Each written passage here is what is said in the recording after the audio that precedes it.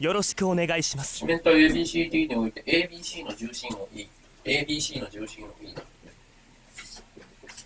じゃあ AE って、今回は視点 A で考えるよ。AE って、はい、重心。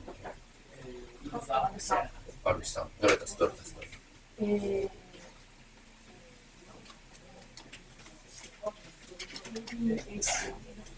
AA。AAA。そう OG って、あれって、OA 出す OB 出す OC これで視点が別のとこにいるから。これって、視点全部 A 変えたら、これだけなくなるんだよね、大きさ。まあ、ゼロだと思ってくれていいかなってことで、これって、3分の1なの。そう、若干よかった。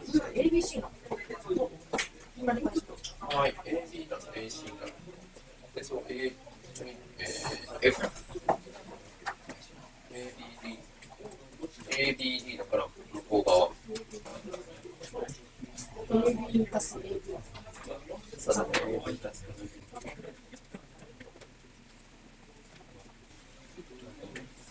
で、えーと、今回で証明したいのが CD こいつって、ベクトル的に言ったら何を証明すればいい平行って。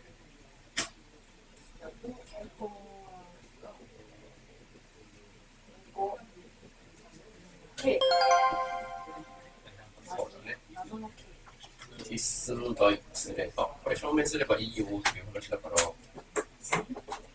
やはり、視点が、じゃないから A で書き換えたよ。A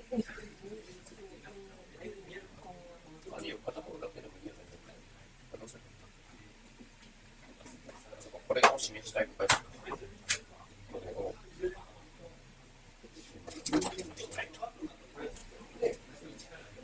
でもまあこれ示せばこれ、あの、こう言えるから、これ示したいなと思うわけ。で、そしたら、下引く上だよね。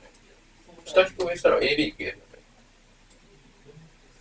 3分の1、AD 引く AC。これってさ、逆になるのか。これの視点を、これの視点を A にしたらこれだ。つまり、EF イコールこれ。だから、よってだね。よって EF イコール C っていうのが示す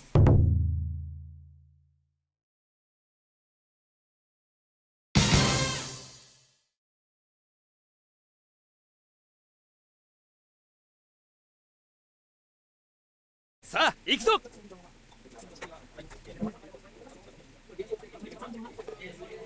何がいい実好きなね、実売で、こうだったら実本当に一直線は伸び縮みだからまあだから一直線この順番はわかんないけど、今回なんかこうやって一直線上に ABC ってあるんだよ。だからそう今回で言ったら分かってるんですよ。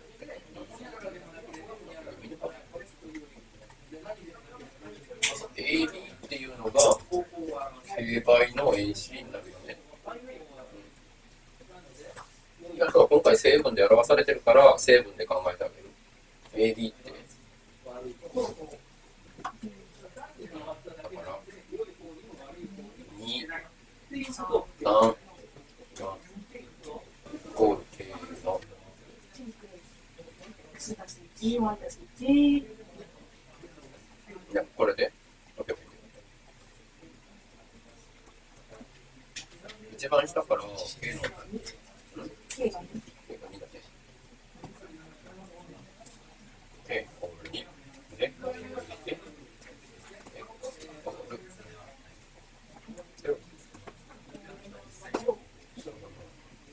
y。